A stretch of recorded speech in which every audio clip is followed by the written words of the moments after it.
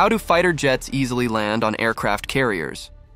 Landing on an aircraft carrier is one of the most challenging and dangerous tasks for a fighter jet pilot.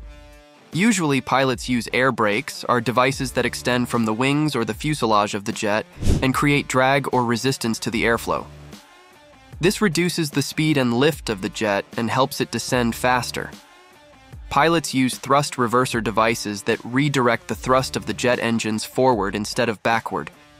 This creates a counterforce that slows down the jet and helps it stop faster.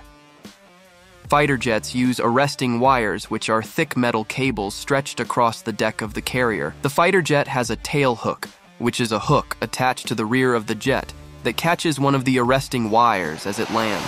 The arresting wire is connected to a hydraulic system that absorbs the kinetic energy of the jet and brings it to a halt within seconds.